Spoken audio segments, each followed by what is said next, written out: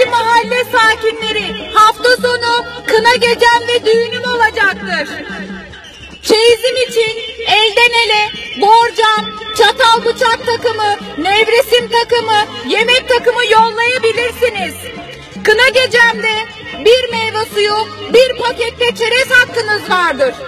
Fazladan fazladan alıp da çantanıza doldurmayın. Düğünüm yemeklidir. Yemekli düğün diye bir gün önceden aç karnınıza gelmeyin.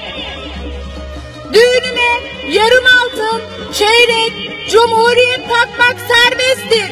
100